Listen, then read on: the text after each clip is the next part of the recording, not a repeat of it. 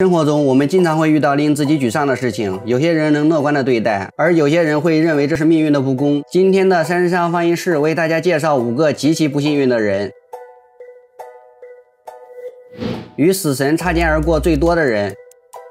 弗兰尼·塞拉克是一名克罗地亚人，以经常与死亡擦肩而过而闻名。他被称为世界上最不幸运的幸运人。一九六二年一月，他正乘坐火车穿过一个寒冷多雨的峡谷，火车出轨，导致车厢坠入河中。他被好心人拉到安全的地方。这次意外导致十七名乘客遇难。一九六三年，在他第一次也是唯一一次乘坐飞机时，他被吹出了故障的飞机门，落在了一个干草堆里，飞机坠毁，十九人遇难。一九六六年，他乘坐了一辆巴士滑出了公路，掉入河流，四名。名乘客遇难，他游到岸边，身上只有一些伤口和淤伤。一九七零年，他的汽车在行驶中起火，他在油箱爆炸前成功逃脱。一九七三年，他的汽车发动机故障，导致火焰从通风口喷出。塞拉克的头发被完全烧焦，但他没有受到其他伤害。一九九五年，他被一辆公共汽车撞倒，但只受了轻伤。一九九六年，他与一辆大卡车迎面相撞，这次事故也没能夺走他的性命。经历了七次可能致死的事故，他都活了下来。然而，他的传奇故事还没有结束。视频的结尾还。还有一件最令人不可思议的事情发生在他的身上，被陨石击中的人。陨石是一种不常见的外太空来客，我们普通人一生可能都不会看见陨石，但总是有那么一些不幸运的人被陨石击中。一九五四年十一月三十日，住在美国希拉克家的霍奇斯正在家中休息，突然一块柚子大小的三点八六公斤的陨石碎片击穿了屋顶，从一台收音机上弹起，击中了正在沙发上休息的他，导致了他的腹部受到压伤。幸运的是，他的伤并不严重。事件发生后，陨石被当地警察局长没收，然后交给了美国空军。此时，霍奇斯和他的房东对。这块陨石的所有权展开了激烈的争执。他的房东认为这块陨石落在了他的财产上，理应归他所有。后来霍奇斯和房东达成和解，为此他付给房东五百美元。然而一年多后，当这块陨石被送回霍奇斯家时，人们对这块陨石的关注度已经降低，他也无法找到买家。一九五六年，他将这块石头捐给当地的自然历史博物馆。故事还没结束，最不幸的是希拉克家陨石在空中碎裂为三块，除了击中霍奇斯的那一块，当地的另一位农民发现了一点六八公斤的麦金尼碎片。随后被一个律师以一大笔钱买走，这笔钱让他买了房子和汽车。被闪电击中最多的人。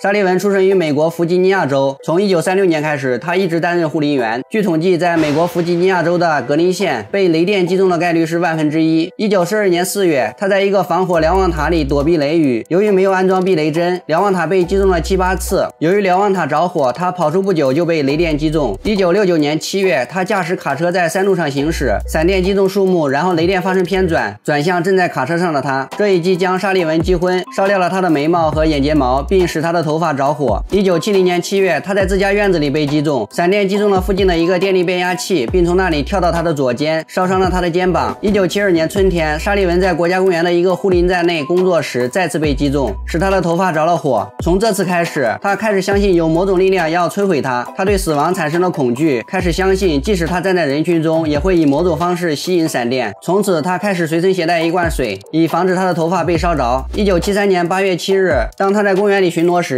他看到一片风暴云正在形成，于是迅速开车离开。但这似乎并没有什么用，他又一次被击中。幸运的是，他随身携带的水罐帮他浇灭了燃烧的头发。一九七六年六月，正在罢工的他看见一朵乌云，虽然逃跑了一段距离，但还是被击中。这一次头发也没能幸免。一九七七年六月，他在一个淡水池里钓鱼时被击中，闪电击中了他的头顶，使他的头发着火，向下蔓延，烧毁了他的胸部和腹部。除了他自己，他的妻子也被击中过一次。当时他的妻子正在后院挂衣服，暴风雨。突然来临，沙利文正在帮他收拾衣服。此时，他的妻子被雷电击中。幸运的是，两个人都没有事。多次被雷电击中的经历让周围的人渐渐远离他，害怕雷电击中他的时候连累到自己，这令他很沮丧。一九七七年，沙利文被吉尼斯世界纪录认定为受到雷击次数最多、仍然活着的人。整个村子都中奖，除了他。西班牙的索德托被认为是世界上最幸运的村庄。二零一一年，二百四十名居民几乎在一夜之间成为百万富翁，除了一个人，他的名字叫科斯特斯。在西班牙，一群人通常合伙购买一个彩票号码，如果中奖，所有参与的人将按照比例瓜分大奖。二零一一年，这个村庄的妇女协会购买了一个彩票号码，然后向村子里的每一个人出售个人股份。幸运的是，这个号码中了价值九点五亿美元的大奖。根据他们购买的数量，每一个居民都赢得了十三万至数百万美元的奖金。当彩票中奖的消消息传来时，科斯特斯很快意识到他是唯一一个被排除在外的人，原因竟然是妇女协会忘了向他推销这个彩票份额。当所有的人都称他为最不幸运的人时，他自己却不这么认为。他认为这是一件非常有趣的故事，他正准备将这个事情拍成电影。美国最不幸运的女人。